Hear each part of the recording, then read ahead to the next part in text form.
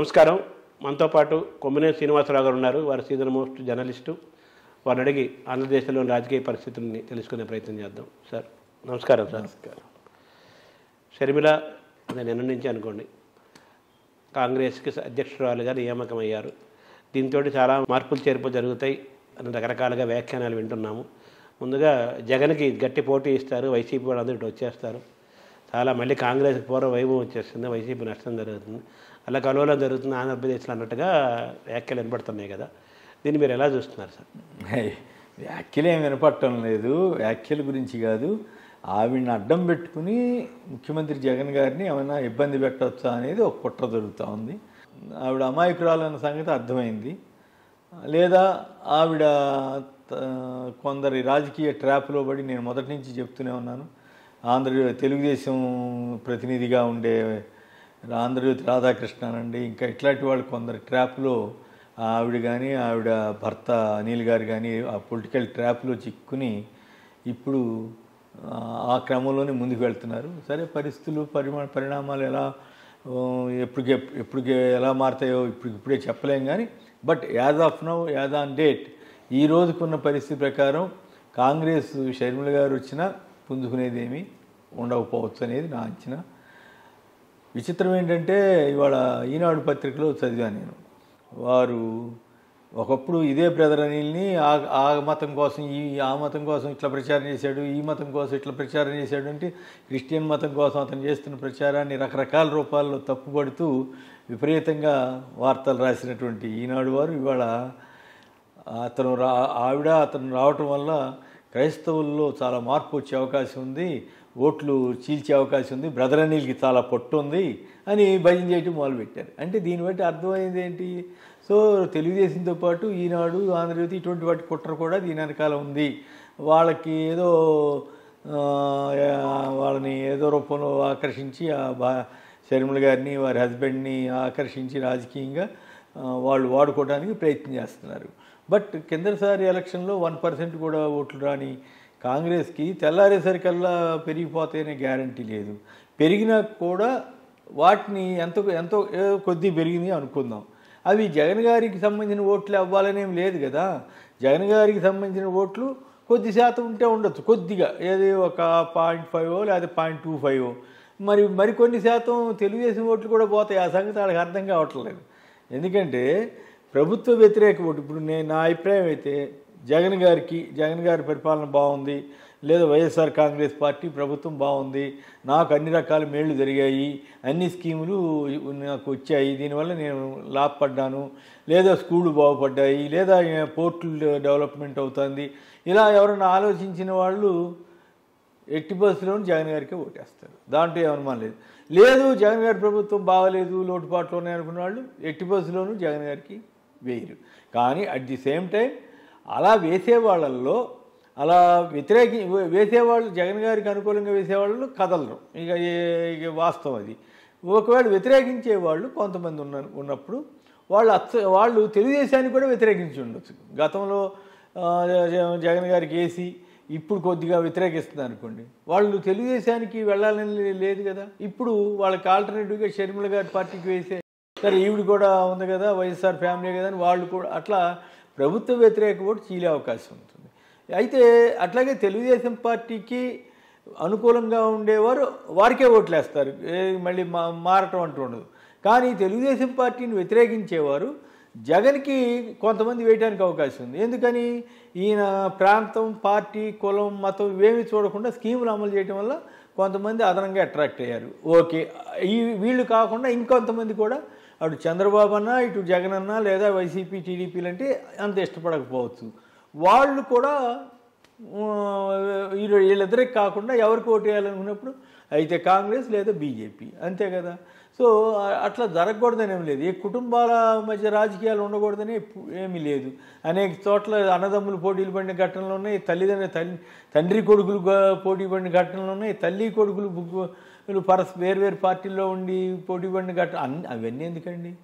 చంద్రబాబు గారు స్వయంగా తన మామనే ఎలక్షన్ నుంచి పోటీ నుంచి పోటీ అంటున్నాను పదవి నుంచి దించి పారేసి తనే ముఖ్యమంత్రి అయ్యాడు కదా.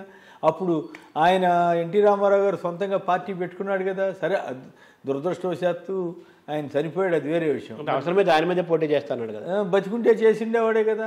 ఆ తర్వాత సోకాళ్ళు ఇప్పుడు ఈ చంద్రబాబు గారికి మారుటత్త అవుతుంది కదా లక్ష్మీపార్తి గారు. సొంత పార్టీ పెట్టుకుని చేశారు కదా కొన్ని ఓట్లు వచ్చినాయి కదా.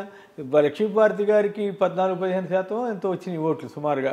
ఇరవై పద్దెనిమిది ఇరవై లోపు. వస్తే దానివల్ల అప్పుడు కాంగ్రెస్ నష్టం జరిగింది. ఎందుకని? చంద్రబాబు అంటే ఇష్టపడిన వాళ్ళు కాంగ్రెస్కి అంటే ఇష్టపడిన వాళ్ళు మామూలుగా ఆ రెండు పార్టీలో ఉంటే చంద్రబాబు అంటే ఇష్టపడిన వాళ్ళు తప్పనిసరిగా కాంగ్రెస్కి వేస్తారు కాంగ్రెస్ అంటే ఇష్టపడిన వాళ్ళు చంద్రబాబుకి వేసి ఉంటే అవకాశం ఉంటుంది. కానీ ఇక్కడ ఏం జరిగింది? చంద్రబాబు అంటే ఇష్టపడిన వాళ్ళలో కొంత శాతం లక్ష్మీభారత్ పార్టీకి వెళ్ళారు. దాంతో ఏమైంది? తెలుగుదేశానికి అడ్వాంటేజ్ వచ్చింది. అందువల్లే వాళ్ళు ఆ రోజున పంతొమ్మిది లోక్సభ సీట్ల వరకు గెలవగలిగారు. లేకపోతే అసలు రెండు మూడు సీట్ల కంటే గెలవని గెలిచే పరిస్థితి లేదు. సో అట్లా ఒక్కోసారి ప్రభుత్వ వ్యతిరేక ఓటు లేదా ఒక పలానా పార్టీకి వ్యతిరేక ఓటు చీలి కూడా లాభం జరగచ్చు ఇప్పుడు కూడా అట్లా జరగకూడదనేమి? లేదు. అట్లా అని చెప్పి అసలేమి ఒక్కోటి కూడా పోదంటే అట్లేమి నేను అంటలేదు. కానీ when we analyse all these things there is every possibility like this అటు జగన్ గారికి జరిగే నష్టం కంటే కూడా చంద్రబాబు గారికి ఎక్కువ నష్టం జరగచ్చు అప్పుడు ప్రభుత్వ వ్యతిరేక ఓటు చేయటం వల్ల.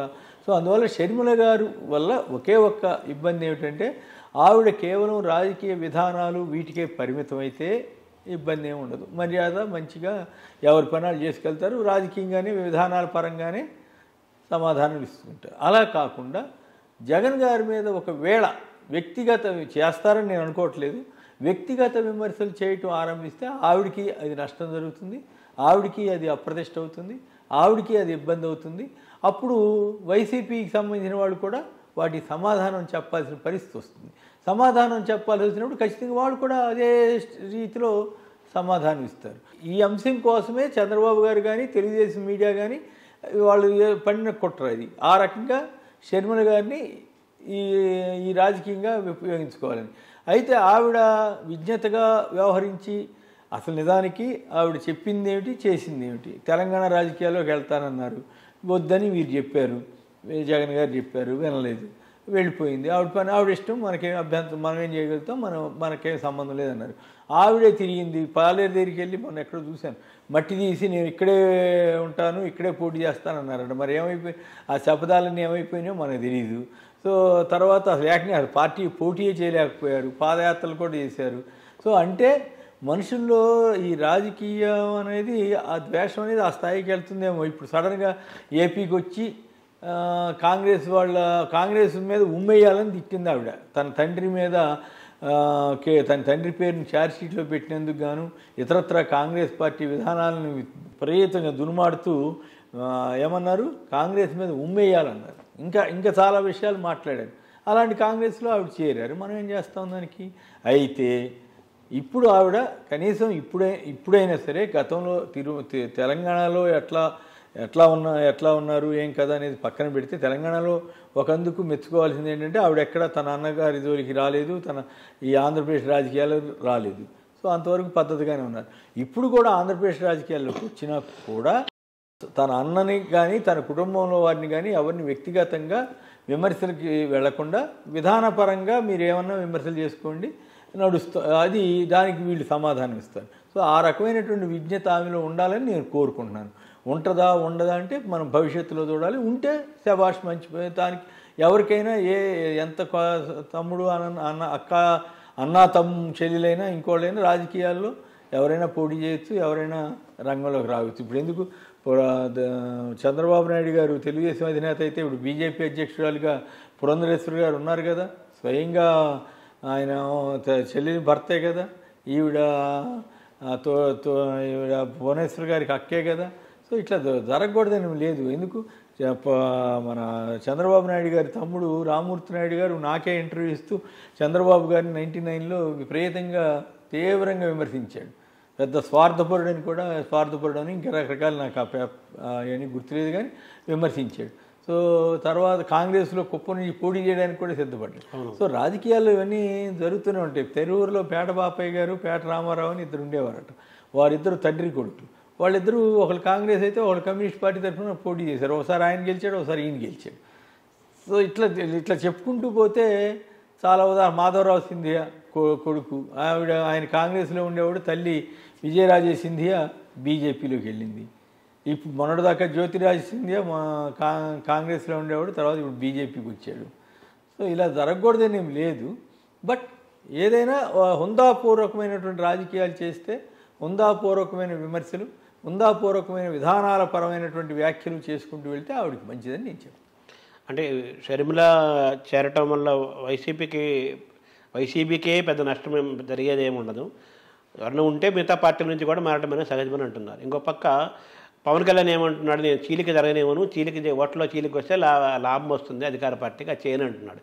ఇప్పుడు షర్మిల ద్వారా కొంత చీలిక జరిగే అవకాశం ఉండటం వల్ల అది అధికార పార్టీ వైసీపీకి లాభం జరిగే లాభం జరుగుతుందని చెప్పొచ్చు కదా మీ మాటలు బట్టి. అంతే అంతే కదా. ఇప్పుడు ఇక్కడ వీళ్ళ ఆశ ఏంటంటే ఆవిడ కేవలం వైసీపీ ఓట్లనే చీలుస్తుంది అనేది వీళ్ళ ఆశ. తెలుగుదేశం చంద్రబాబు గారి ఆశ. కిందసారి కనుక టూ థౌజండ్ నైన్టీన్లో పవన్ కళ్యాణ్ విడిగా పోటీ చేయించి జగన్ గారికి వ్యతిరేక ఓటుని లేదా ప్రభుత్వ వ్యతిరేక ఓటుని చీల్చడం ద్వారా లాభ పొందాలనుకున్నప్పటికి కూడా అది సాధ్యం కాల.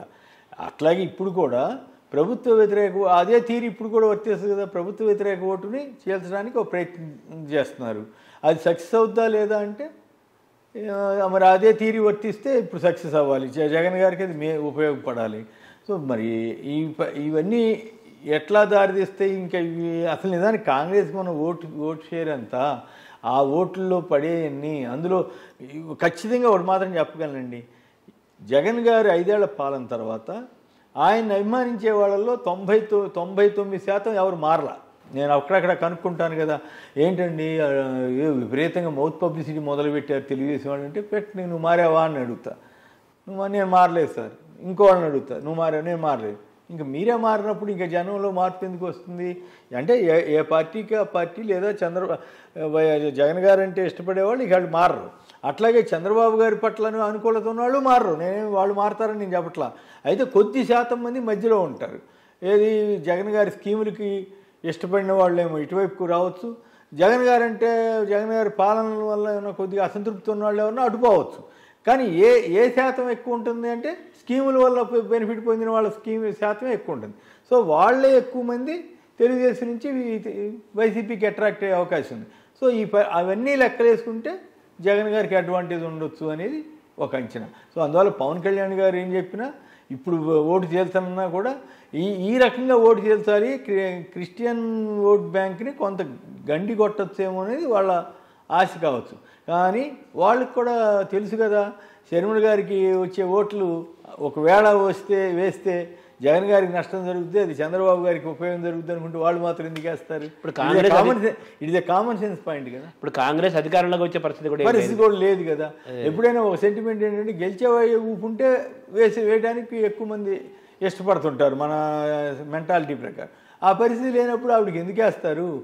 వేసినా ఆవిడ ఆయనకి వ్యతిరేకంగా ఉన్న ఓట్లని ఎందుకు అనుకోవాలి? చంద్రబాబుకి వ్యతిరేకంగా ఉన్న ఓట్లని కూడా అనుకోవాలి. ఇప్పుడు మామూలుగా ఈ ఐదు సంవత్సరాల్లో ఈ నాలుగు వందల సంవత్సరాల పైన జగన్ పరిపాలనలో సంక్షేమ పథకాలు చాలా తీసుకొచ్చారు. ఆ సంక్షేమ పథకాల ద్వారా ఓటు బ్యాంకును చాలా స్ట్రాంగ్ చేసుకున్నాడని చెప్పేసి ప్రతిపక్షాలు కూడా అదే మాట చెప్పుకుంటూ వచ్చాయి కదా.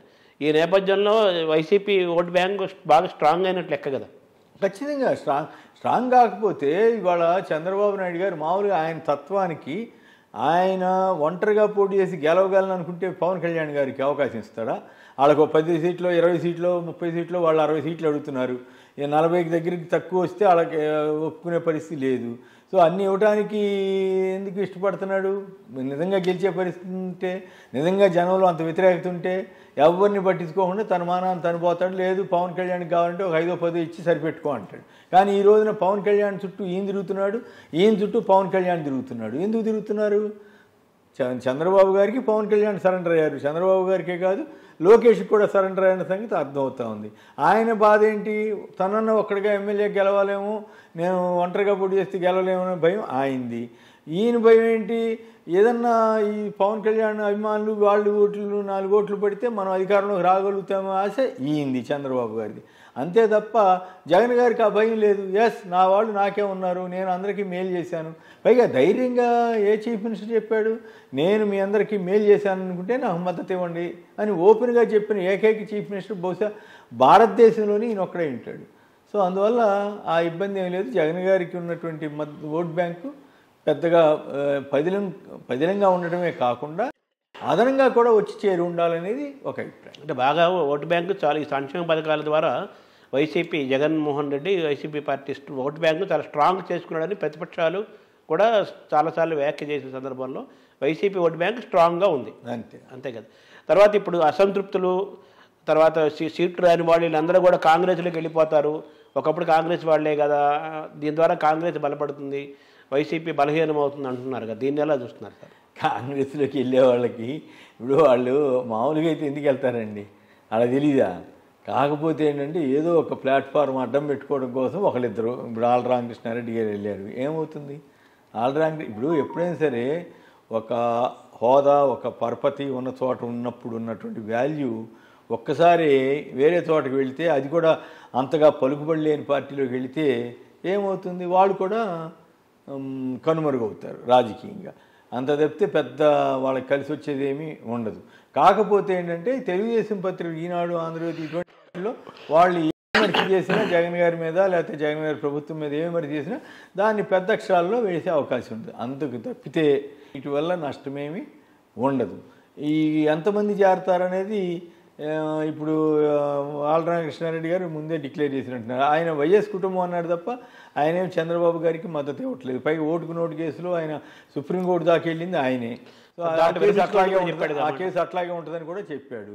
రెండు కాపు రామచంద్రారెడ్డి గారు రఘువీరారెడ్డి గారిని కలిశారు కానీ ఇంకా తర్వాత ఏమవుతుంది? ఏం ఏమీ డెవలప్మెంట్ ఉన్నట్లేదు ఇంకెవరు ఎందుకు వెళ్తారు? ఒకవేళ వైసీపీ అంటే లాభం లేదు అనుకున్న వాళ్ళు తెలుగుదేశం వైపు లేకపోతే జనసేన తెలుగుదేశం కూడా కాదంటే ఆ పార్టీ మిత్రపక్షమైన జనసేన వైపు అట్రాక్ట్ అవుతారు. అట్లాగే తెలుగుదేశం జనసేన వాళ్ళు ఎవరన్నా ప్రముఖులు ఇక్కడ లాభం లేదనుకుంటే వైసీపీకి వస్తారు కానీ కాంగ్రెస్లోనూ బీజేపీలోనూ ఎందుకు చేరతారు? కేవలం చంద్రబాబు గారు అనుమతి తీసుకుని ఆ నలుగురు రాజ్యసభ సభ్యులు బీజేపీలో చేరారు తప్పితే ఎవరైనా చేరతారా? వాళ్ళు వాళ్ళు కేవలం తెలుగుదేశం ఏజెంట్లుగానే బీజేపీలో ఉన్నారు తప్పితే వాళ్ళేమి బీజేపీ కాదు పాడు కాదు కదా? బీజేపీ వాళ్ళైతే కాంగ్రెస్లో చేరుతున్న షర్మిలకి వాళ్ళు విమానం ఎందుకు సమకూరుస్తారు? సో ఇవన్నీ బహుశా భారత ఆంధ్రప్రదేశ్లో జరుగుతున్నంత అనైతిక రాజకీయాలు బహుశా దేశంలో ఇంకెక్కడ జరగట్లేదు అనిపిస్తుంది అంటే ఏ పార్టీ అయితే అధికారంలోకి వస్తుందో వస్తుందో నమ్మకం ఉంటుందో జనరల్గా ఆ పార్టీ వైపే ఆకర్షణకు అవుతారు కానీ. అట్లా ఉండదు అట్లా ఉండదు అట్లా ఉండదు. సీటు ఇప్పుడు రాజకీయ నాయకులకి ఏంటంటే ఒక కోరిక ఉంటుంది బలీయంగా. అసలు ఖర్చు వేయటం అంటారు అనమాట ఆ సీట్ రిజర్వ్ చేసుకోవటం అనమాట గెలిచినా ఓడినా ఆ నియోజకవర్గంలో నాది చిన్న పార్టీయా పెద్ద పార్టీ అని కూడా చూడరు. గమనిస్తే నే ఇవి ఉంటాయి కదా ఏమంటాము కార్డ్స్. నేమ్ కార్డ్స్ ఉంటాయి కదా. ఆ కార్డ్స్ మీద కంటెస్టెడ్ ఎమ్మెల్యే క్యాండిడేట్ అని రాస్తారు. అది కూడా అదొక ఆనందం. ఎగ్జామ్కి అప్లై ఫెయిల్ అయిపోయినా కానీ అప్లై అట్లాగే అదేంటంటే ఇప్పుడు సపోజ్ టీడీపీ తరఫున గెలి పోటీ చేశాడండి. ఓడిపోయినా కూడా ఇంకెవడు రావడానికి వీల్లేదు అక్కడికి. ఆ పార్టీ మీద ఆ నియోజకవర్గంలో అతనే పెత్తనం ఉంటుంది. అట్లాగే వైసీపీ తరఫున ఎవరైనా పోటీ చేశారని గెలిచినా కూడా అతనే బాధ్యుడిగా కొన్నేళ్ళ పాటు కొనసాగుతారు అన్లెస్ మారిస్తే తప్ప. ఇప్పుడు మారుస్తున్నారు కదా వాళ్ళు మారుస్తారు వీళ్ళు మారుస్తారు. వైసీపీ నియోజకవర్గాలు మార్చుకుంటున్నారు. కొంత అక్కడ ఉన్నటువంటి లోకల్ సిచ్యువేషను సర్వేలు ఇటువంటి ఆధారంగా.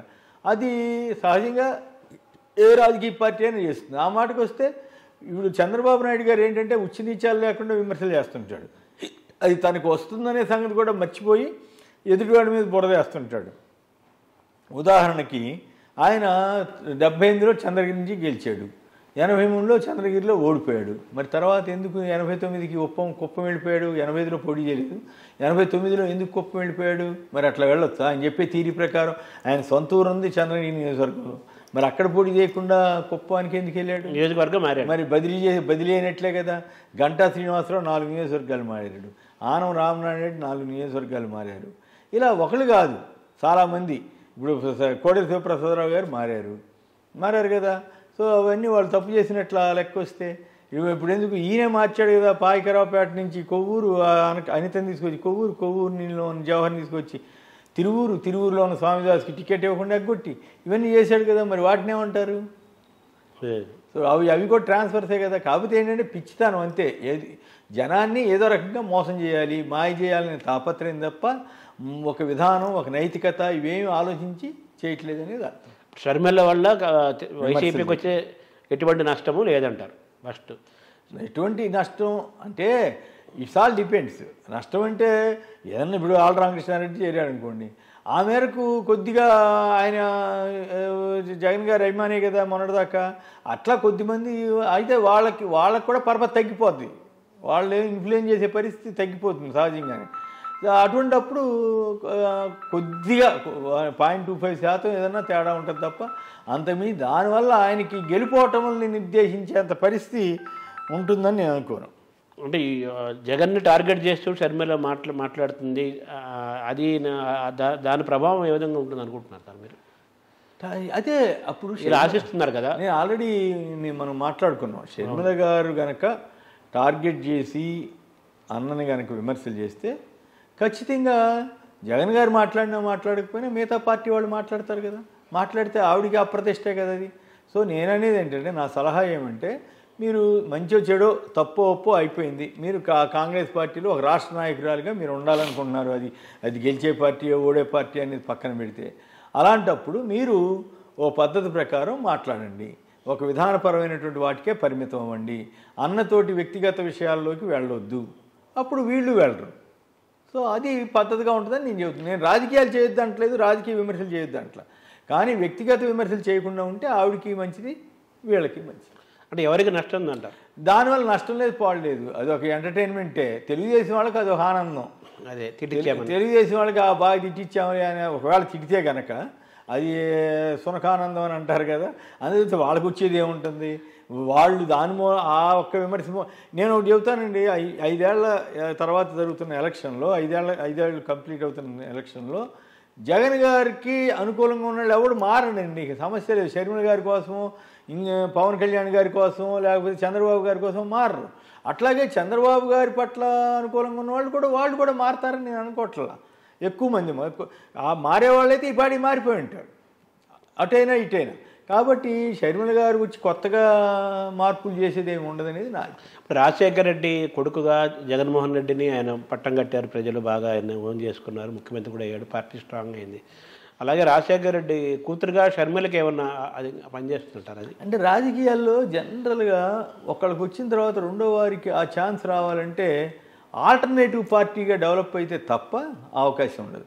సపోజ్ ఇప్పుడు తెలుగుదేశం పరిస్థితి తెలుగుదేశాన్ని కనుక పూర్తిగా ఫినిష్ చేసి షర్మిల గారు ఆవిడ ఆల్టర్నేటివ్గా తయారయ్యారనుకోండి అప్పుడు ఎప్పటికైనా అట్లా నేను ఆల్టర్నేటివ్గా ఉన్నానని ఒక ఇచ్చే అవకాశం ఉంది. అడుగుడిపోయిన పార్టీలో చేరి ఆల్టర్నేటివ్ ఎట్లా అవుతారు?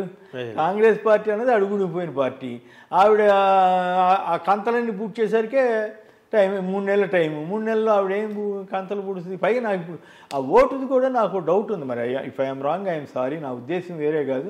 ఆవిడ ఇక్కడ తెలంగాణలో తిరుగుతున్నప్పుడు టూర్ చేస్తున్నప్పుడు కానీ ఇక్కడ రాజకీయాలు చేస్తున్నప్పుడు తెలంగాణలో ఓటు నమోదు చేసుకుంటారు కదా హైదరాబాద్లో. ఇప్పుడు వెళ్ళి అక్కడ అసెంబ్లీకి ఎట్లా చేయగలుగుతారని నాకు సందేహం. ఇప్పుడు ఆడు ఓటు ఎక్కడ ఉన్నట్టు సార్? ఓటు ఇక్కడే ఉందని మరి మీరు చెప్పాలి. ఇక్కడ ఉందా? ఇక్కడ ఓటేసారా కింద సార్ నాకు గుర్తు రావట్లేదు. ఒకవేళ ఇక్కడ ఓటేసి ఉంటే అక్కడ ఓటు అక్కడ పో- పోటీ చేయడానికి కూడా ఎంతవరకు సరి సరిపు సర సమర్థిస్తారో తెలియదు నాకు. ఎందుకంటే మొన్న ఈ మధ్య సీఈఓ వాళ్ళు వచ్చినప్పుడు ఏం చెప్పారు? ఆరు నెలలు నివాసం ఉండాలని కనీసం ఏదో చెప్పారు. మరి ఆరు నెలల నివాసం ఎట్లా ఏం అదేదో కొంచెం కన్ఫ్యూజన్ ఉంది. కాకపోతే పార్లమెంటుకి చేసుకోవచ్చు. దేశంలో ఎక్కడైనా సరే ఏ నియోజకవర్గం నుంచి అయినా చేసుకునే అవకాశం ఉంటుంది కాబట్టి పార్లమెంటుకి చేసుకోవచ్చు కానీ కొందరు ఏంటంటే పులివెందుల్లోనే పోటీ పెట్ట పులివెందుల్లో పోటీ పెడితే ఏమవుతుంది? ఆ మాత్రం అంటే అసలు ఆవిడ అసెంబ్లీకి నించుంటారు లేదు కూడా మనకి ఇంకా తెలియదు. తెలియదు కదా. కాకపోతే వీళ్ళు ప్రచారం తెలుగుదేశం వాళ్ళు ప్రచారం అనమాట తెలుగుదేశం పత్రికలు ఈనాడు ఆంధ్రజ్యోతి ఇటువంటి వాటి ప్రచారం. ఇప్పుడు వైసీపీ అభ్యర్థులను ఇందాక కొంచెం మాట్లాడారు మనం ఉచితంగా మాట్లాడుకున్నాం వైసీపీని అభ్యర్థులను మారుస్తోంది కదా. లోక్సభ అభ్యర్థులు కూడా వేరే ప్లేస్ దూరంగా ఉన్న వాళ్ళకి సంబంధం లేని వాళ్ళని తీసుకొచ్చి ఆ ప్లేస్లకి ఇప్పుడు ఆవిడ తీసుకు వచ్చా ఆవిడ ఝాన్సీని వైజాగ్ తేవటం కానీ లేకపోతే చెవిరెడ్డి ఏదో ఒంగోలు ఇలా రకరకాలుగా వినపడుతున్నాయి. చాలామంది మా చాలా పాత వాళ్ళకి ఇవ్వకపోవటం కానీ పూర్తిగా కొత్త వాళ్ళకి ఇవ్వటం కానీ దీనివల్ల వైసీపీకి చాలా నష్టం జరుగుతుంది. అనే దాన్ని మీరు ఎలా చూస్తారు సార్? ఇవన్నీ నష్ట లాభ నష్టాలు అనేవి కేవలం జగన్ గారి ప్రభుత్వం పెర్ఫార్మెన్స్ మీదే ఉంటాయి తప్ప మిగతా అన్ని ఇమ్మెటీరియల్ అంటే అసలు ఉండదని కాదు. కొంత ప్రభావం ఉంటుంది తప్ప క్యాండిడేట్ది అందుట్లో పార్లమెంట్ క్యాండిడేట్లు చాలా తక్కువ ప్రభావం ఉంటుంది. అసెంబ్లీ క్యాండిడేట్లు కాస్త ఎక్కువ ఉంటుంది. వీటన్నిటినీ మించి జగన చంద్రబాబు. జగన్ గారే కావాలనుకున్న వాళ్ళు ఇంకా వేరే ఆలోచించారు సో దీన్ని బట్టి మనం ఆలోచించాలి తప్ప అదే ప్రామాణికత అయితే ఉదాహరణకి కైకాల సత్యనారాయణ గారు పేరుకి ఆయన అక్కడ స్వస్థలం కానీ ఆయన ఎప్పుడో చెన్నై హైదరాబాద్ వెళ్ళిపోయారు. ఎలక్షన్ ఎప్పుడు అక్కడికి వెళ్ళాడు ఒకసారి గెలిచాడు ఇంకోసారి ఓడిపోయాడు. కదా? అలాగే ఇంకా మరికొందరు. మాగుంటి శ్రీనివాసరెడ్డి గారికి నెల్లూరు. వాళ్ళు వచ్చి ఒంగోలులో అది రిజర్వ్డ్గా ఉండటంతో ఇక్కడికి వచ్చి కృష్ణ కూడా ఒకసారి ఏలూరు నుంచి కృష్ణ గారికి ఏలూరుకి ఏం సంబంధం? జమున గారు రాజమండ్రి నుంచి అనుకుంటే చేశారు. అవును. మరి ఆవిడకి రాజమండ్రి గారికి రాజమండ్రికి ఏం సంబంధం? ఆవిడ ఒరిజినల్గా మంగళగిరి దగ్గర అనుకుంటా కదా. సో ఇట్లా శారద గారు ఆవిడ వెంకటగిరి యాక్చువల్గా అనుకుంటా. తెనాలిలో పోటీ చేశారు. తెనాలి. బాపట్ల పోటీ చేశారా. బాపట్ల పోటీ చేశారు ఒకసారి. సో ఇట్లా ఆ- అంతదాకా వస్తే ఇందిరాగాంధీ గారు మెదక్ వచ్చి పోటీ చేశారు. ఆవిడకి ఏమిటి సంబంధం? ఎన్టీ రామారావు గారు మూడు చోట్ల తొమ్మిది చోట్ల చేశాడు ఎనిమిది చోట్ల గెలిచాడు ఒక చోట ఓడిపోయాడు. కలవకుర్తి ఆయనకేం సంబంధం? నల్గొండ ఆయనకేం సంబంధం. సో అవన్నీ తప్పైతే ఇవి తప్పే. పార్లమెంట్ ఎలక్షన్స్లో ఎవరు గోడే మురహరి ఆయన ఎవరో కూడా తెలియదు విజయవాడలో పోటీ చేసి గెలిచాడు. అంతకుముందు ఆయన పేరేది నిజామాబాద్లో ఒక ఆయన ఒక ఆయన అట్లాగే ఇద్దరు గెలిచారు. అంటే ఎన్ని ఉదాహరణలు చెప్పచ్చు చాలా చాలా ఉదాహరణలు ఉంటాయి. గబాల్ని ఇప్పుడు గుర్తు చేసుకోలేకపోతే హరీంద్రనాథ్ చటోపాధ్యాయ అది విజయవాడలో పోటీ చేసి గెలిచాడు మొదట్లో. సో ఇట్లా అంటే ఇప్పుడు వైసీపీ లాగా పాత వాళ్ళకి ఇవ్వకపోవటము చాలా మందిని మార్చటము సీట్లు ఇవ్వకపోవటము కొత్త వాళ్ళకి ఇవ్వటము అనేది పార్టీ పైన ఫలితాలపైన ఎటువంటి ప్రభావం అంటే మార్చటం అన్నది ఆయా సందర్భాన్ని బట్టి పరిస్థితిని బట్టి అక్కడ ఉన్నటువంటి సిచ్యువేషన్ బట్టి సమీకరణాలను బట్టి ఉంటుంది. ఎక్కువ సందర్భాల్లో మార్చడం వల్ల బెనిఫిట్ జరుగుతుంది. కొన్ని సందర్భాల్లో ఎక్కడైనా ఒకటి ఆరో చోట్ల మార్చిన తర్వాత ఆ క్యాండిడేట్ వీక్ వీక్ అయితే అప్పుడు ఎక్కువ ఎఫెక్ట్ పడుతుంది. అదర్వైజ్ ఇప్పుడు ఉదాహరణకి తెలంగాణలో పన్నెండు చోట్ల మారిస్తే తొమ్మిది చోట్ల కేసీఆర్ గారు గెలిచారు. మిగతా చోట్ల గెలవకపోవడం వల్ల ఓడిపోయారనే సూత్రీకరణ అయితే వచ్చింది కదా. అందరం అదే అనుకున్నాం కదా. ఎందుకంటే ఉదాహరణకి ఆయన ఒక ఎమ్మెల్యే మీద చాలా తీవ్రమైనటువంటి ఆరోపణలు వచ్చినాయి. లైంగిక వేధింపుల ఆరోపణలు కూడా వచ్చినాయి. అయినా కూడా ఆయన టికెట్ ఇచ్చాడు. ఇవ్వకుండా ఉండాల్సింది కదా. ఇస్తే దానివల్ల ఏమైంది? నష్టపోయాడు. అట్లా కొన్ని సీట్లు ఆ రకంగా పైగా స్వయంగా కేసీఆర్ గారు కామారెడ్డి నుంచి పోటీ చేయటం అంత తెలివైన చర్య కాదనేది అప్పుడు మొదటే అనుకున్నారు. రేవంత్ రెడ్డి కూడా చేశాడు రేవంత్ రెడ్డి కూడా అటాక్ చేశారు. ఇద్దరు ఓడిపోయారు కదా. ఇద్దరు ఓడిపోయారు. మరి దానికి ఏం చెప్తారు సో మరి వాళ్ళిద్దరు ఎందుకు చేశారు? ఇక్కడ చేయకూడదుగా ఈ థీరీ ప్రకారం? అంటే జగన్మోహన్ రెడ్డి మొదటి నుంచి ఒక మాట స్ట్రాంగ్ అంటుంటారు కదండి ఆయన. ప్రజలను నమ్ముకున్నా నేను అంటారు కదా. ఈ నాయకుల కంటే ఆయన డైరెక్ట్ ప్రజలతోనే ఆయన ఎక్కువ కనెక్ట్ అంటే ఆయన స్కీమ్స్ అన్ని డైరెక్ట్గా ఒక్క రూపాయి అవినీతి లేకుండా వాలంటీర్ వ్యవస్థ ద్వారా కానీ బ్యాంకింగ్ బ్యాంకుల ద్వారా డైరెక్ట్ బెనిఫిట్ స్కీమ్ ద్వారా కానీ అందరు వెళ్ళినాయి. అట్లాగే ముప్పై ఒక్క లక్షల మందికి ఇళ్ళ స్థలాలు ఇచ్చారు. వాళ్ళందరూ కూడా ఆయనకి అనుకూలంగా ఉంటారనేది గట్టి నమ్మకం. అట్లాగే కులాలు ప్రాంతాలు ఇవన్నీ చూడలేదు. పాలనలో విపరీతమైన మార్పు తీసుకొచ్చారు. మన ఇంటికే ప్రభుత్వం మన ఇంటికే వచ్చింది తప్ప ప్రభుత్వం ఎక్కడుందో ఎత్తుక్కుంటే వెళ్ళాల్సిన పరిస్థితి క్రియేట్ చేయలేదు. సో ఈయన చంద్రబాబు నాయుడు గారు అమరావతిలో ఒక యాభై అంతస్తుల బిల్డింగ్ కడతాను అదే అభివృద్ధి అని జనాన్ని నమ్మించాలని ఆయన ప్రయత్నం. లేదు ప్రతి ఊళ్ళోనూ ఐదేసి బిల్డింగులు తప్పున యాభై వేల బిల్డింగులు కడతా నేను. ప్రతి ఊళ్ళోనూ మూడు నాలుగు బిల్డింగులు గవర్నమెంట్కి సంబంధించి ఉంటాయని ఆ రకంగా యాభై వేల బిల్డింగులు కడతానని జగన్ గారు గ్రామ సెక్రటేరియట్ కూడా ఆయన చేస్తున్నాడు అది సో యాభై వేల బిల్డింగ్లు కట్టడం అభివృద్ధి అవుతే జగన్ గారిని గెలిపిస్తారు. కాదంటే అది వేరే విషయం. యాభై అంతస్తుల బిల్డింగ్తో సరిపెట్టుకుంటావంటే ఎవడేం చేయగలిగింది కాదు. సో కాబట్టి ఇప్పుడు ఈ ఓవరాల్ సిచ్యువేషన్లో చంద్ జగన్ గారి మీద ఉన్నటువంటి సానుకూలతే ఎంపీ క్యాండిడేట్కైనా ఎమ్మెల్యే క్యాండిడేట్కైనా ఉపయోగపడుతుంది తప్ప ఇంకోటి కాదు. ఉదాహరణకి మన బాలశౌరి గారు పార్టీ మారుతాడని టాక్ వచ్చింది. వచ్చింది కదా ఆయన అనౌన్స్ చేసినట్టున్నాడు కదా. ఆయన అసలు ఎక్కడ వాడు? బందర్కి ఆయనకి ఏమిటి సంబంధం?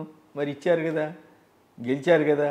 అట్లాగే ఇవి రేపు ఒక చోట నుంచి ఒకటో చోట మార్చుకుంటే మార్చుకుంటారు. చెవిరెడ్డి భాస్కర్ రెడ్డిని ఒంగోలులో పెడితే పెడతారో లేదో ఇంకేం క్లారిటీ రాలేదు కానీ పెట్టినంత మాత్రాన ఇదేమి నష్టమైతే ఉండాల్సిన అవసరం లేదు. అయితే అక్కడ ఉన్నటువంటి పరిస్థితులను ఆధారంగానే ఇట్లాంటి నిర్ణయాలు తీసుకుంటారు. అంటే ఇప్పుడు వైసీపీలో ఈ అభ్యర్థుల మార్పు అసెంబ్లీ అభ్యర్థులు కానీ పార్లమెంట్ అభ్యర్థులు లోక్సభ అభ్యర్థులు కానీ ఈ మార్చటం అనేది దీని ప్రభావం పెద్దగా ఏముండదని మీరు అంటారు అంటే కొద్దిగా ఏదన్నా ఉంటే ఉండొచ్చు దాన్ని అడ్జస్ట్ చేసుకుంటే వెళ్ళాలి. అట్లాగే తెలుగుదేశానికైనా అదే సూత్రం వర్తిస్తుంది. ఇప్పుడు జేడి మన లక్ష్మీనారాయణ గారు ఉన్నాడండి ఆయన. ఆయన జనసేన తరఫున విశాఖపట్నం ఏం సంబంధం ఉందని వేసాడు ఎక్కువ ఓట్లు కూడా ఆయనకి. పురంధరేశ్వరి గారికి అక్కడ ఏ- ఏమి సంబంధం ఉందని ఆవిడ ఓట్లు వేసింది నామినేషన్ వేసింది? వేయకూడదు కదా ఓడి ఒకసారి గెలిచారు ఒకసారి ఓడిపోయారు బాపట్ల ఒకసారి గెలిచారు మళ్ళీ రాజంపేటకి ఏమి సంబంధం? ఆవిడికి రాజంపేటకి ఏమి సంబంధం. బాపట్ల అంటే సొంత ఊరు ఉంది కాబట్టి తర్వాత వైజాగ్ తర్వాత ఏమో రాజంపేట. రాజంపేట. మరి ఇవన్నీ ఆ, మనం ఇష్టమైంది అనుకోండి బ్రహ్మాండం అంటాం. ఇష్టం లేదనుకోండి "ఐ, ఇక్కడ ఇక్కడ రిపోర్ట్ చేస్తారంటాం. అట్లా ఈ తెలుగుదేశం వాళ్ళ విమర్శలకు అర్థం పర్థం లేని విమర్శలు చేస్తారు తెలంగాణ ఫలితాలు మన దగ్గర అసెంబ్లీ ఫలితాలు కాంగ్రెస్ ఆంధ్రప్రదేశ్ ప- అసెంబ్లీ ఫలితాలపైన ఉంటాయని కూడా పెద్ద ప్రచారం జరిగింది కదా సార్. ఇప్పుడు కాంగ్రెస్ ప్రభుత్వం వచ్చింది తెలంగాణలో. ఆంధ్రప్రదేశ్లో దీని ఇన్ఫ్లుయెన్స్ ఏమైనా ఉంటుంది అసలు? ఆంధ్రప్రదేశ్లో ఖచ్చితంగా ఉంటుంది. ఏ రకంగా అంటే ఆంధ్రప్రదేశ్లో ప్రభుత్వం అన్నది ఇంటికి ప్రతి వాడి ఇంటికి వెళ్తాను ఇక్కడ ప్రభుత్వం కోసం లక్షల మంది రోడ్ల మీద నిలబడాల్సి వచ్చింది. సో రోడ్ల మీద నిలబడటం గనక జనం ఒప్పుకుంటారా? జనం ఇక్కడ ఆల్రెడీ అస- ఆ అసంతృప్తి ఆల్రెడీ బయలుదేరింది. సో అక్కడికి ఇక్కడికి పోల్చి చూపుతున్నారు. ఎట్లా? జ జగన్ గారి ప్రభుత్వం వాలంటీర్ల వ్యవస్థ ద్వారా ప్రతి ఇంటికి కూడా సర్వీసెస్ అందించింది స్కీములు అందించింది. ఎవరికే సర్టిఫికేట్ కావాలన్నా ఇచ్చింది. ఎవరికే అవసరం ఉన్నా ఆ ఊళ్ళోనే సచివాలయం కాబట్టి ఎక్కడెక్కడికో తిరగాల్సిన అవసరం లేకుండా చేసింది. ఇది గొప్ప రెవల్యూషన్ పాలనా సంస్కరణ అని జనం అనుకుంటున్నారు. ఇక్కడ ఏం చేశారు? ఇక్కడ ఆరు గ్యారంటీలు అని చెప్పి అమలు ఆచరణ ఆచరణ సాధ్యంగానే హామీలు ఇచ్చారు. వాటి నుంచి ఎట్లా బయటపడాలో అర్థం కాక ఇది ఒక ప్రక్రియ మొదలుపెట్టారు. అప్లై చేసుకోమంటూ ఏంటి? అసలు ప్రతి ఇంటికి నువ్వు ఇస్తానని చెప్పారు కదా. ఇంకా అసలు అప్లై చేసుకోవాల్సిన అవసరం తెలంగాణ పౌరుడు ఓటు హక్కు ఉన్న ప్రతి ఒక్కడికి నువ్వు స్కీమ్ హామీ ఇచ్చావు. అక్కడ దాంట్లో షర షరతులు వర్తిస్తాయని ఎక్కడ రాసినట్టుగా ఎవరు చెప్పలేదు. ఉపన్యాసాల్లో కానీ ఎక్కడ. కానీ మీరేం చెప్పారు? మీరు అప్లై చేసుకోండి అన్నారు. అప్లై చేసుకోండి అనగానే పాపం అమాయక జనం లక్షల సంఖ్యలో వెళ్ళి రోడ్ల మీద నిలబడాల్సి వచ్చింది. ఎందుకు ఇవాళ అక్కడ పేపర్లో చూశాను. ఎరువుల కోసం పెద్ద క్యూ కట్టి ఉంది మరి తెల ఏపీలో ఎరువుల కోసం క్యూ కట్టే పరిస్థితి ఉందా రైతు భరోసా కేంద్రాల ద్వారా ఎప్పటికప్పుడు సప్లై చేస్తున్నారు. ఒకవేళ ఉన్నా కూడా ఒక రోజు అటు ఇటుగా వెంటనే వచ్చేస్తాయి. వాళ్ళు క్యూలు క్యూలో నిలబడి గంటలు తెరబడి రోజులు తెరబడి ఉండాల్సిన అవసరం లేదు. సో ఆ రకమైనటువంటి పాలన అక్కడ మెరుగైన పాలన అందుతోంది అన్నదానికి ఇప్పుడు ఇక్కడ జరుగుతున్న లోటుపాట్లు ఉపయోగపడ అది పోల్చుకు చూసుకునే అవకాశం ఉంది. అంతేకాకుండా స్కూళ్ళు గత ప్రభుత్వంలో కానీ కేసీఆర్ గారి ప్రభుత్వంలో కానీ ఇప్పుడు కానీ ఇప్పుడు ఇప్పుడు ఏం బాగు చేయలేరు కదా. ఆ స్కూళ్ళలో ఉన్నటువంటి మార్పుల మీద జనం వీడియోలు తీసి పెడుతున్నారు. ఇది ఆంధ్ర స్కూల్ అద్భుతంగా ఉంది ఇక్కడేమో ఇంత అధ్వానంగా ఉందని చెబుతున్నారు. సో ఇటువంటి ఇటువంటి పోలికలు వచ్చే అవకాశం ఉంది. అంటే ఆ మాటకు వస్తే చంద్రబాబు గారి టైంలో స్కూళ్ళని పట్టించుకోకుండా అధ్వానంగా మార్చిన ఫోటోలు అట్లాగే ఇప్పుడు జగన్ గారి పాలనలో స్కూళ్ళలో వచ్చిన మార్పులు వీటన్నింటినీ కూడా చూపిస్తున్నారు. అలాగే వైద్య రంగంలో తెలంగాణలో చేసిన దానికి తెలంగాణలో ఇప్పుడు జరుగుతున్న దానికి ఏపీలో ఇప్పుడు జరుగుతున్న దానికి పోల్చి చూసుకుంటారు. సో ఏ రకంగా చూసినా కూడా జగన్ గారి ప్రభుత్వానికి ఇది ఇది ఒక అడ్వాంటేజ్ అవుతుంది. ఓహో కాంగ్రెస్ వాళ్ళు ఆరు గ్యారంటీలు ఇచ్చారు. ఇప్పుడు రేపు షర్మిల గారి ద్వారా కూడా ఇప్పిస్తారు కదా ఆరు గ్యారంటీలు. వాళ్ళకంటే ముందు పోటీ పడి చంద్రబాబు గారు ఇచ్చారు కదా. అవేవి ఆచరణ సాధ్యం కాదనేది అర్థమవుతుంది. ఇప్పుడు గ్యాస్ సిలిండర్లు ఇక్కడ ఎన్నో మూడో ఎన్నో ఇవ్వాలి కదా ఐదు వందల రూపాయలకి. ఆయన అయితే అసలు ఉచితంగానే ఇస్తానన్నట్టున్నాడు చంద్రబాబు గారు. సో ఇక్కడ ఇక్కడ మూడే ఇవ్వలే ఐదు వందల రూపాయలకి ఇవ్వలేనప్పుడు అక్కడ ఉచితంగా ఎట్ట ఇవ్వగలుగుతారు? సో బస్ ప్రయాణం ఒకటి ఇచ్చారు. అది ఆడవాళ్ళకి ఇచ్చారు. దానివల్ల ఆటోలన్నీ నష్టపోతున్నాయి గందరగోళం అవుతుంది కదా. ప్లస్ ఆర్టీసీ మునిగిపోయే పరిస్థితి వస్తూ ఉంది. మరి ఇవన్నీ కూడా జనం ఆలోచిస్తారు కదా. సో ఏ రకంగా చూసినా కూడా పైగా ఆల్రెడీ అక్కడ స్కీమ్లో ఇంప్లిమెంట్ చేశారు. ఇక్కడ ఇంప్లిమెంట్ చేయడానికి ఇంకా కింద మీద పడుతున్నారు మల్లగొల్లాలు పడుతున్నారు. సో కాంగ్రెస్ పార్టీ ఇక్కడ కనుక ఫెయిల్ అవుతోంది అనే అభిప్రాయం కలిగితే అక్కడ జగన్ గారికి ఇంకెక్కువ అడ్వాంటేజ్ వచ్చే అవకాశం ఉంది. అలాగే ఈ ఈ హామీలు అమలు చేయని హామీలు కాంగ్రెస్ పార్టీ ఇచ్చిందిగా ఇచ్చింది అట్లాంటి దిక్కుమాలిన హామీలే చంద్రబాబు గారు ఇచ్చారు. వీటిని నమ్మటానికి లేదు. గతంలో లక్ష కోట్ల రుణమాఫీ ఎట్లయితే మోసం చేశారో ఇప్పుడు కూడా వాటిని అలాగే చేస్తారని జనం ఫీల్ అయితే తెలుగుదేశానికి బాగా నష్టం జరుగుతుంది. సో ఓవరాల్గా చూసినప్పుడు ఎక్కడన్నా ఓటీఆర్ పాయింట్లో జగన్ గారికి కొద్దిగా ఇబ్బంది వస్తే రావచ్చేమో కానీ బట్ మిగతా నైంటీ నైన్ పర్సెంట్ వాటిల్లో జగన్ గారికి తెలంగాణ ప్రభుత్వంలో జరుగుతున్న పరిణామాలు జగన్ గారికి అడ్వాంటేజ్ అవుతాయి. వేరే ఈ పరిణామాలన్నీ కూడా చంద్రబాబు గారికి ఆయనకు ఒక్క శాతమే ఏమైనా లా- ఏమైనా లాభం జరుగుతాం కానీ మిగతా తొంభై తొమ్మిది శాతం నష్టం. ఇప్పుడు కేసీఆర్ మన ఓటమిని రేపు జరగబోయే చంద్రబాబు జగన్ ఏపీ ఎన్నికల్ని కంపేర్ చేస్తూ మౌత్ పబ్లిసిటీ జరుగుతోంది కదా. జగన్ పని అయిపోయింది అన్నట్టుగా మాట్లాడుతున్నారు కదా. దీన్ని ఎలా చూస్తున్నారు సార్? జగన్ గారి పని అయిపోయినట్లుగా వాళ్ళు కావాలని పని అయిపోయినట్లుగా ఎవరు అంటలేదు జగన్ గారిని మేము కొట్టేస్తాం ఈసారికి అని అంటున్నారు. అంటే మరి నిజంగా అంత ధైర్యం ఉంటే వాళ్ళు ఒంటరిగా పోటీ చేయొచ్చు కదా. ఎవరు వద్దన్నారు చంద్రబాబు గారికి నిజంగా అంత ధైర్యం ఉంది. అలా కేసీఆర్ గారితో కేసీఆర్ గారు ఒంటరిగానే చేశాడు కదా. సరే ఆయన వ్యూహాత్మక తప్పిదాలనండి ఎట్లయినా కానీ గెలవలేకపోయాడు. కాంగ్రెస్ పార్టీ మొత్తం మీద ఎట్టకుంటే బయటపడింది. సో బయటపడిన ఒక సిపిఐ తోటే కదా వాళ్ళు పొత్తు పెట్టుకుంది ఒక సీట్ ఇచ్చారు. అట్లాగే జన జనసేన పవన్ కళ్యాణ్కి కూడా ఒక్క సీటే ఇచ్చి మిగతాన్ని వాళ్ళని పోటీ చేయమని దమ్ముంటే. కాబట్టి ఈ ఈ ఎఫెక్టు అక్కడ దీనికి దానికి సంబంధం లేదు. ఇక్కడ రాజకీయాలు వేరు అక్కడ రాజకీయాలు వేరు. ఇక్కడ ప్రధాన ప్రత్యర్థులు ఎవరు? కాంగ్రెస్ బీఆర్ఎస్ బీజేపీ. అంటే అక్కడ ప్రధాన ప్రత్యర్థులు ఎవరు? వైఎస్ఆర్ కాంగ్రెస్ తెలుగుదేశం పార్టీ. ఆ తర్వాత తెలుగుదేశం పార్టీకి మరి ఆ మాట అనొచ్చో లేదో కానీ తోకలాగా ఉన్న జనసేన పార్టీ. అంతే కదా యాజ్ ఆఫ్ నౌ. వాళ్ళు మేము పదో పరగ బీజేపీ కాంగ్రెస్ ప్రభావంగా లేదండి ప్రభావం పదో పరకు ఇస్తే తీసుకునే పార్టీగా మిగిలిపోయే అవకాశం ఉంటే జనసేన కూడా తోక పార్టీ అవుద్ది. అలా కాకుండా వాళ్ళు అరవై సీట్లు సాధించుకుంటే గౌరవనీయమైన పార్టీ అవుతుంది. నాకేం అభ్యంతరం లేదు అది మాట చెప్పడానికి అటువంటప్పుడు అక్కడ కాంగ్రెస్ బీజేపీకి అసలు రోలే లేదు సే లేదు. ఊరికే షర్మిల్ గారిని పెట్టినా అక్కడ పురంధరేశ్వరి గారిని పెట్టినా పెద్ద మార్పు ఏమి ఉండదు. సో ప్రధాన పార్టీలు అక్కడ రెండు వైఎస్ఆర్ కాంగ్రెస్ తెలుగుదేశం. ఇక్కడ కాంగ్రెస్ బీజేపీ బీఆర్ఎస్. సో ఈ మూడు పార్టీలు అక్కడ లేవు ఆ రెండు పార్టీలు ఇక్కడ లేవు. సో ఏ రకంగా చూసినా కూడా ఈ రాజకీయ సమీకరణలు వేరు ఆ రాజకీయ సమీకరణలు వేరు. సో అందువల్ల ఇక్కడ ఫలితాలు అక్కడ రావాలనేమి రూల్ లేదు. అంతేకాకుండా ఇక్కడ ఉన్నటువంటి పరిస్థితులు అక్కడ లేవు. అదే టీఆర్ఎస్ ఓడిపోతుంది ఓడిపోతుంది ఓడిపోతుందని ఒక పెద్ద పబ్లిసిటీ మౌత్ పబ్లిసిటీ జరిగింది తెలంగాణ ప్రాంతంలో. కానీ అది కొంత జరిగిన మాట వాస్తవం. ప్రత్యేకించి విలేజెస్లో ఒక ఏడాది ముందు నుంచే వ్యతిరేకత ఉంది. నేను నాతో చాలామంది మాట్లాడినప్పుడు విలేజెస్లో బాగా నెగిటివ్ ఉందండి అని చెప్తుండేవాళ్ళు. కానీ అది అట్ ది సేమ్ టైం సిటీలో అంత వ్యతిరేకత లేదనేది మనకి అర్థమవుతా ఉంది. సి- ఓట్లు కూడా బాగానే చివరికి అట్లాగే ఆ రకంగా సిటీ అంతా కూడా టీఆర్ఎస్ బీఆర్ఎస్ వేవ్ వచ్చింది. పల్లెటూళ్ళల్లో అన్ని జిల్లాలు కొన్నిట్లో ఎస్పెషల్లీ ఖమ్మం నల్గొండ వరంగల్ ఆ, మహబూబ్ నగర్ కొన్ని ఏరియాల్లో కాంగ్రెస్ వేవ్ వచ్చింది. సో కాంగ్రెస్ వేవ్ వల్ల కొద్దిగా లాభ ఎక్కువ లాభం వచ్చింది కాబట్టి వాళ్ళు బయటపడ్డారు. వీళ్ళు ఇక్కడ ఇక్కడ వరకే హైదరాబాదు రంగారెడ్డి మెదక్ వరకే పరిమితం అయ్యేసరికి వీళ్ళు నష్టపోయారు. సో అందువల్ల అది ప్లస్ క్యాండిడేట్లు మార్చకపోవటం ఇటువంటి కారణాలు. సో అందువల్ల పూర్తిగా బీఆర్ఎస్ ఓడిపోయిందని ఓడిపో అధికారం రాకపోవచ్చు. కానీ కొంత ప్రాంతంలో తనకంటూ ఒక వేవ్ సృష్టించుకుంది కదా. సో పూర్తిగా అంటే ఇప్పుడు ఆంధ్రప్రదేశ్లో వైసీ వైసీపీ పట్ల కూడా ఫలితాల పట్ల కూడా అదే విధమైన మౌత్ పబ్లిసిటీ ఎక్కువ జరుగుతుంది కదా. మౌత్ పబ్లిసిటీ ఉన్నంత మాత్రాన ఏమి అయ్యేదేమీ ఉండదు. కాక జనంలో వ్యతిరేకత ఉంటే చెప్ప అప్పుడు ఏదైనా తేడా వస్తుంది. అంత తప్పితే ఇంకొకటి ఇంకో మాట అనుకోవడానికి లేదని చెప్పాలి.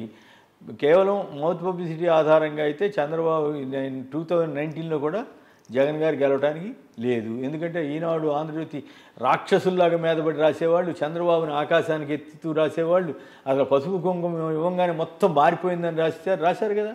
మరి అయినా జనం ఎందుకు ఓట్లేలా? సో ఆంధ్రప్రదేశ్ ప్రజలు కొంచెం కాన్షియస్గా ఆలోచిస్తారనేది దాంట్లో అంటే గ్రౌండ్ రియాలిటీ వేరే ఉంది. వేరే ఉండొచ్చు. మీరు తిరిగారు కూడా కదా చాలా ప్రాంతాలు. తిరిగాను. అయితే అసంతృప్తులు ఉండవు లోటుపాట్లు లేవని నేను చెప్పట్లా. కానీ జగన్గా ఏ గవర్నమెంట్ ఉన్నా ఉంటాయి. లోటుపాట్లు ఇవన్నీ కానీ జగన్ గారి ప్రభుత్వం చేసినటువంటి సంస్కరణలు కానీ స్కీములు కానీ గతంలో ఏ ప్రభుత్వం కూడా ఇన్ని మార్పులు తీసుకురాలేదు ఇన్ని స్కీములు అమలు చేయలేదు. నేను సరదాగా అంటుంటాను. జగన్ గారిని అడిగి మీరు పెట్టిన స్కీములన్నీ వరుసనే చెప్పండి అంటే ఆయన చెప్పలేడు. అన్ని స్కీములు పెట్టాడు ఆయన.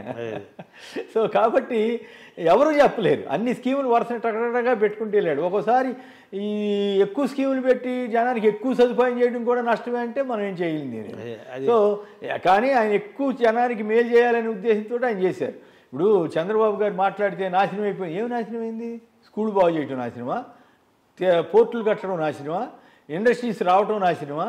ఎట్లా అది అర్థం పర్థం లేని విమర్శ.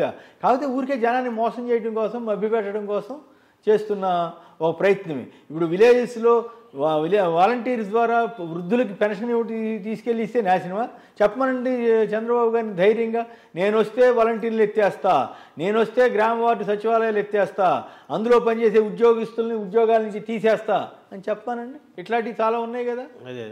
చెప్పిన రోజున అప్పుడు వాళ్ళకి ఒక విధానం ఉన్నట్లు లెక్క. ఓ పక్కేమో వాలంటీర్లు తిడతారు ఇంకో పక్కేమో సచివాలయ వ్యవస్థను తిడతారు ఇంక మరోవైపు ఏమో మేము కూడా అటు కంటిన్యూ చేస్తూ ఉంటారు. ఓ పక్కేమో జగన్ గారు అమలు చేస్తున్న సంక్షేమ స్కీముల వల్ల నష్టం జరిగిపోయింది నాశనం అయిపోయింది అంటారు.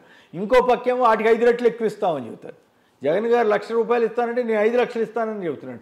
మరి అది అబద్ధం అవ్వాలి లేకపోతే మోసం అన్న అవ్వాలి సో దీనివల్ల తెలుగుదేశం వాళ్ళు సెల్ఫ్ పోల్ వేసుకుంటున్నారు.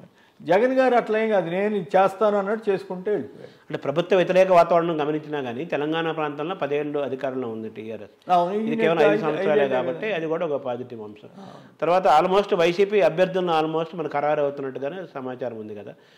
టీడీపీ నుంచి జనసేన నుంచి ఇంతవరకు క్లారిటీ సంపూర్ణంగా రాలేదు కదా సార్. అంటే అదే వాళ్ళ అసలు సమస్య ఏంటంటే వాళ్ళు వాళ్ళు చేయటానికి ముందు వాళ్ళు భయపడుతున్నారు. వీళ్ళు అసలు యాక్చువల్గా ఏం చెప్పారు? పండగకి ముందు వస్తాయన్నారు పండగ రోజు వస్తాయన్నారు పండగ తర్వాత వస్తాయన్నారు. ఉమ్మడి మేనిఫెస్టో అన్నారు అది అన్నారు ఏది రాలా? ఇప్పుడు అప్పుడే పదిహేడో తారీఖు వచ్చేసింది. ఈలోగా ఈ కేసు వచ్చి మీద పడింది. సుప్రీంకోర్టులో వ్యతిరేక తీర్పు వచ్చింది. దాంతో జుట్టు పిక్కునే పరిస్థితి. అవినీతి మీద పోరాడ పోరాడండి అంకుశంతో పోరాడండి అన్న రామోజీరావు గారు ఇప్పుడు అవినీతిని మొయ్యలేక కింద మీద పల్లకి వేసుకుని మరీ మోస్తున్నాడు ఆయన. ఆయన కానీ ఈ మిగతా వాళ్ళు కానీ పవన్ కళ్యాణ్ గారు ఇట్లాంటి వాళ్ళు. సో అదొక యాంగిల్. ఇక్కడ ఈ జనసేన టీడీపీ పొత్తు వ్యవహారంలో ముందు ఎన్ని సీట్లు అనేది తేలాలి? ఏ సీట్లు అనేది తేలాలి అట్లాగే వీటి మీద సీఎం సీట్ షేరింగ్ తేలాలి. ఇవన్నీ తేలకుండా ఏం చేసినా అది గందరగోళం అవుతుంది. ఆ గందరగోళానికి భయపడే వాళ్ళు ఆ విషయంలో ముందుకు వెళ్ళలేకపోతున్నారు. అదే వేరే జగన్ గారికి ఆ ఇబ్బంది లేవు తను అనుకున్నది తను చెప్పదలుచుకుంది చెప్తున్నాడు తన పని తను చేసుకుంటూ పోతున్నాడు. మార్పులు చేర్పులు చేస్తున్నాడు ఎవరన్నా అసంతృప్తి చెంది వెళ్ళిన వాళ్ళున్నా కూడా ఓ మాట చెబుతున్నారు వినకపోతే మీ ఇష్టం అంటున్నారు. అంతేగాని ఇంక వేరే ఆల్టర్నేటివ్ ఏం చేయట్లేదు కదా చూడట్లేదు కదా. అంటే టీడీపీ జనసేన అభ్యర్థులను ప్రకటించడానికి ఇంకా వాళ్ళ మధ్య ఒప్పందము పొత్తులు ఎన్ని ఎన్ని సీట్లు ఇవ్వాలి క్లారిటీ రావడానికి కూడా వాళ్ళు భయపడుతున్నారంటారు. ఖచ్చితంగా. ఎప్పుడైనా ప్రకటించాల్సిందే కదా. ప్రకటించాలి కాకపోతే నేను విన్నది ఏంటంటే పవన్ కళ్యాణ్ గారు నా పరువు పోతుంది ఇప్పటికే రాజరామరావు గారు అరవై పోతే మనకి ఓట్ షేర్ జరగదు ఇదని చెప్తున్నారు కదా. సో ఆ నేపథ్యంలో పవన్ కళ్యాణ్ గారు కనీసం నలభై దగ్గర అన్నా ఉన్నాడని ఈయనేమో ఇరవై దగ్గర ఆగాడని ఇరవై సార్లు మీకు అనవసరం అని ఎట్లాగో సీఎం పదవికి నువ్వు పనికిరావని డైరెక్ట్గాను ఇండైరెక్ట్గాను లోకేష్ గారు పవన్ కళ్యాణ్ ఉద్దేశించి అనేశారు కదా. సో అదొక సమస్య ఉంది. సో ఇవన్నీ కూడా తేలిగ్గా ఆ, చాలా పొత్తులు పెట్టుకున్నట్టు కనపడటం తేలికే కానీ పొత్తు యాక్చువల్గా ఇంప్లిమెంటేషన్కి వచ్చేసరికి అది ఇప్పుడు మళ్ళీ రేపు బీజేపీతో కూడా పొత్తు పెట్టుకుంటే అదో సమస్య. వాళ్ళకు పది పదిహేను సీట్లు ఇవ్వాల్సి వస్తుంది. ఈయనకి నలభై సీట్లు ఆయనకి పదిహేను సీట్లు ఇస్తే ఏమవుతుంది? యాభై యాభై నుంచి యాభై సీట్లు పోతాయి. అప్పుడు ఆయన మిగిలే నూట పాతిక నూట పాతికలో ఆయన ఎన్ని ఎన్ని గెలవగలుగుతారు? సో ఇవన్నీ చాలా ఇష్యూస్ ఉంటాయి. అంటే ఈ- సీట్ల కేటాయింపు ఎలా జరిగినా కానీ ప్రజల్లో జనసేన సామాజిక వర్గంలో కానీ అంటే ఆయన పవన్ కళ్యాణ్ సామాజిక వర్గంలో కానీ వ్యతిరేకత వచ్చే అవకాశం ఉంటుంది అంటున్నారు కదా సార్. ఆల్రెడీ వ్యతిరేకత ఉంది. ఇదేమిటి చంద్రబాబు గారిని బండబూతులు తిట్టాడు రకరకాలుగా అవినీతి పరుడు అన్నాడు అది అన్నాడు ఇది అన్నాడు చివరికి మళ్ళీ ఇప్పుడు ఆయన కొమ్ము కాస్తున్నాడు ఎందుకు? ఈయన మంచో చెడో బీజేపీతోటి రెండు వేల పంతొమ్మిదిలో ఓడిపోగానే కలిశాడు కదా మళ్ళీ. కలిసిన తర్వాత నిజాయితీగా చిత్తశుద్ధితోటి బీజేపీతో కలిసి యాక్టివిటీ చేస్తున్నట్లయితే ఇద్దరిని జగన్ గారి పాలసీస్ని విమర్శించు చంద్రబాబు గారి పాలసీస్ని విమర్శించు. ఆ రెండింటిని విమర్శించుకుంటూ కనుక ఆల్టర్నేటివ్గా డెవలప్ అయ్యే డెవలప్ అయ్యే ప్రయత్నం చేస్తుంటే ఇప్పుడు థర్డ్ ఆల్టర్నేటివ్ అయ్యి ఉండేవాడు. ఆయన ఆయనకి అంత ఓపిక లేదు. ఆయనకి అంత చిత్తశుద్ధి లేదు పవన్ కళ్యాణ్ గారికి. ఎంతసేపు చంద్రబాబు గారు వెనకాల తిరిగి ఏదో కింద మీద పడదామనే తాపత్రయం తప్పితే సొంతంగా ఎదగాలన్న ఆలోచన లేదు. దానివల్ల ఆయన తను నష్టపోతున్నాడు తన పార్టీ వాళ్ళని నష్టపరుస్తున్నాడు తన కాపు సామాజిక వర్గానికి కూడా అప్రతిష్ట చేస్తున్నాడు. రేపు ఈ- సీట్ల విషయం క్లారిటీ వస్తే ఇంకా వాళ్ళ సామాజిక వర్గంలో వ్యతిరేకత ఎక్కువ పెరుగుతుందని కూడా వినపడుతుంది కదా. అంటే ఇప్పుడు ఈ సీట్ల సంఖ్య తక్కువ వచ్చింది అనుకోండి. అప్పుడు ఏం చేస్తారు? ఇప్పుడు ఉభయ గోదావరి జిల్లాల్లో ముప్పై నాలుగు ఉన్నాయి కదా. ఆ ముప్పై నాలుగులో కనీసం ముప్పై మంది ఇరవై ఐదు నుంచి ముప్పై మంది అడుగుతున్నారంట. వాళ్ళు టీడీపీ వాళ్ళేమో వెనక ముందు ఆడుతున్నారంట. సో అక్కడ గొడవలు అవుతాయి. జనసేనకి ఇచ్చిన సీట్లలో టీడీపీ క్యాండిడేట్లు కొందరు ఉంటారు కదా. మేము ఎంత కష్టపడి చేస్తే వీళ్ళు వచ్చి పోటీ చేస్తానంటున్నారు ఏంటి? వీళ్ళు పైగా చ- పవన్ కళ్యాణ్ గారు తెలివి తక్కువగా మాట అన్నాడు. పదేళ్ళ వరకు ఈ పొత్తు ఉంటుంది అన్నాడు అంటే ఇంకో రెండు ఎలక్షన్ వరకు ఇదేముంటుందని ఆయన చెప్పకనే చెప్పాడు. చెప్పినప్పుడు ఏమవుతుంది? ఆహా అంటే ఇప్పుడు ఇప్పుడు ఇతను గెలిచాడనుకో ఇతను నేనే అని ఖర్చు పేసి కూర్చుంటాడు. సో ఆ రకమైనటువంటి బ్యాక్ స్టాప్స్ అనండి లేకపోతే గొడవలని జరిగే అవకాశం ఉంది. అంటే సీట్లు ఇచ్చినా ఇబ్బందులు వస్తు- వస్తాయి సీట్లు ఇవ్వకపోయినా ఇబ్బందులు వస్తాయి. మీరు చెప్పే మీ సుప్రీంకోర్టు ఒక్కొక్క జడ్జి ఒక్కొక్క అభిప్రాయాన్ని ఒక్కొక్క ప్రకటన చేశారు కదా సార్. దీన్ని ఎలా చూస్తున్నారు? ఇది ఎటువంటి పరిణామాలు తీసుకుంటుంది మీ అబ్జర్వేషన్? అంటే నా అబ్జర్వేషన్ ఏంటంటే ఒకటి రెండో ఇద్దరు ఒకే రకమైన అభిప్రాయం ఇచ్చి ఉంటే బాగుండేది. సెవెంటీన్ ఏ ఆధారంగా అవినీతి పరులకు రక్షణ కల్పిస్తున్నారనే ఫీలింగ్ సుప్రీంకోర్టు స్థాయిలో రాకూడదు. ఆ దురదృష్టం అది వచ్చింది. అది ఒక జడ్జి గారు ఇచ్చిన దాంట్లో అది ఆయన కూడా కొద్దిగా జాగ్రత్తగానే ఇచ్చినప్పుడు కూడా అట్లా ఇచ్చి ఉండాల్సింది కాదేమో అనేది నా నా వ్యక్తిగత అభిప్రాయం. ఎందుకంటే ఆయన ఎప్పుడైనా పర్మి పర్మిషన్ తీసుకోవచ్చు అని చెప్తే ఆయన ఇప్పుడైనా పర్మిషన్ తీసుకోవచ్చని చెప్పారంటేనే అది అంత బలమైన క్లాస్ కాదు అని అర్థమవుతుంది. కానీ అట్ ది సేమ్ టైం ఇతరత్ర రిమాండ్ రిపోర్ట్ కానీ అరెస్ట్ని కానీ వీటన్నిటిని కూడా కోర్టు ఆ, ఆయన వెళ్ళింది దేనికి? అసలు కేసు మొత్తాన్ని క్వాష్ చేయించుకోవాలని అంటే కొట్టేయించుకోవాలని. కానీ అందుకు ఒప్పుకోలేదు. ఈ రిమాండ్ ఏసీబీ జడ్జి చేసిన రిమాండ్ని వాళ్ళు తప్పు పట్ల. సో దాంతో వీళ్ళు డిఫెన్స్లో పడ్డారు తెలుగుదేశం వాళ్ళు. సో ఈ డిఫెన్స్ ఈ పరిణామ క్రమంలో కేవలం సెవెన్ నాకు న్యాయ నిపుణులు చెప్పేది ఏంటంటే సెవెంటీన్ ఏ ఆధారంగా మాత్రమే అక్కడ సుప్రీంకోర్టులో మళ్ళీ ఇంకో జడ్జి ఇంకొక త్రీ త్రీ మెంబర్ జడ్జో ఫైవ్ మెంబర్ జడ్జికో వెళ్తుంది తప్ప మిగతా అరెస్టులు రిమాండ్ ఈ గొడవలోకి వెళ్ళరు అన్నారు. అటువంటప్పుడు సెవెంటీన్ ఏ కింద తీసుకున్నా తీసుకోకపోయినా చంద్రబాబు గారికి కలిసి వచ్చేదేమి ఉండదు. ఒకవేళ సెవెంటీన్ ఏ కింద తీసుకోండి అంటే మళ్ళీ ఫైల్ గవర్నర్ గారికి పంపుతారు ఆమోదం తీసుకుంటారు మళ్ళీ కేసు పెడతారు. అంతే కదా అంత తప్పితే అది ఓన్లీ టెక్నికల్ రీజన్. అంతేగాని దాంట్లో స్కిల్ స్కామ్లో మూడు వందల డెబ్బై ఒక్క కోట్లు పోలేదని వీళ్ళు చెప్పట్లేదు తెలుగుదేశం అకౌంట్లోకి బ్యాంక్ ఖాతాల్లోకి డబ్బులు అక్రమంగా వచ్చాయన్న సిఐడి దానికి వీళ్ళు సమాధానం ఇవ్వలేకపోతున్నారు. వాళ్ళ పిఎస్ ఎందుకు పారిపోయాడో చెప్ప అమెరికా పారిపోయిందని సమాధానం చెప్పట్లేదు. సో వీళ్ళు సిఐడి విచారణలకు వెళ్ళకుండా ఎందుకు తప్పుకుంటున్నారో చెప్పలేకపోతున్నారు. సో ఇవన్నీ వాళ్ళకి చాలా నెగిటివ్ పాయింట్స్ ఉన్నాయి. కేవలం ఈనాడు ఆంధ్రజ్యోతే వాళ్ళకి బలం. వాళ్ళు తప్పుడు రాతలు రాసి వాళ్ళ అబద్ధాలు రాసి అవినీతిని కూడా బుధాన వేసుకుని మోస్తూ చంద్రబాబు గారిని మీరు రక్షించాలనే ప్రయత్నంలో ఉన్నారు. అదొక్కటే వాళ్ళకి బలం తప్ప వేరే ఇతరత్ర బలం ఉందని అనుకోవడానికి లేదు.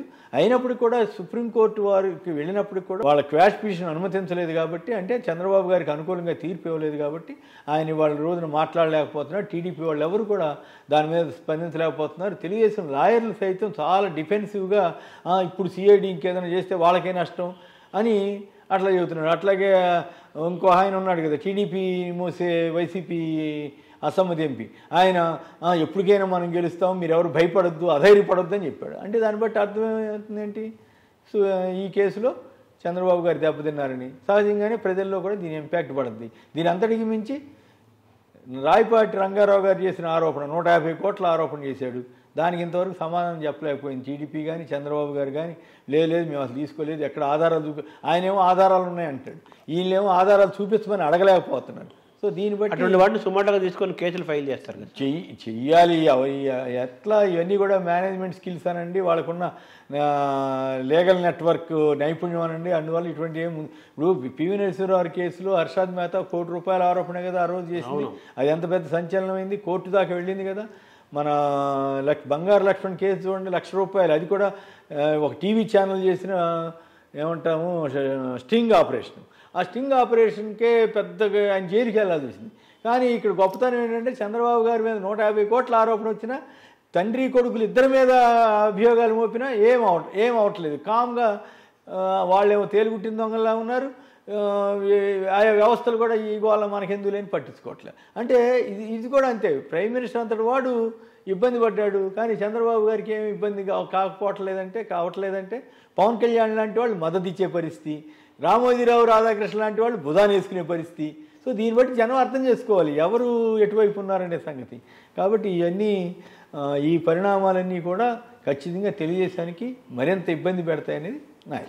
అంటే ఈ సుప్రీంకోర్టుకి జడ్జిమెంట్ లేటెస్ట్ వాళ్ళు ఇద్దరు జడ్జిలు మాట్లాడింది ఒకరు ఒక అభిప్రాయం ఒకరు అభిప్రాయం చెప్పినప్పటికీ కూడా కేసు మీద దర్యాప్తు జరగాలి ఎంక్వైరీ జరగాలి అవన్నీ ఏమి ఆపడానికి ఆపమని వాళ్ళు ఏం చెప్పలేదు కదా. చెప్పలేదు. కాబట్టి అది నిజంగా రుజువైతే యావజ్జీవ కారాగార యావజ్జీవ అవన్నీ. శిక్షలు అవన్నీ రెడ్డోడు ఎప్పుడు ఇవన్నీ ప్రజలు గమనిస్తుంటారు కదా. ఖచ్చితంగా ఇవన్నీ ప్రజలు గమనించకుండా ఎందుకు ఉంటారు అంటే ఖచ్చితంగా ఇన్నాళ్ళు ఈనాడు వాళ్ళు అబద్ధాలు రాశారు స్కిల్ స్కామ్లు ఏమీ లేదని కదా వాళ్ళు ప్రచారం చేసింది అసలు డబ్బులే పోలేదని కదా వాళ్ళు ప్రచారం చేసింది. సో డబ్బులు జరిగినాయి అవినీతి జరిగింది అనేది సిఐడి చేస్తున్న వాదనని ఈ సుప్రీంకోర్టు కూడా బలపరిచిందని అనుకో థ్యాంక్ యూ సార్ రైట్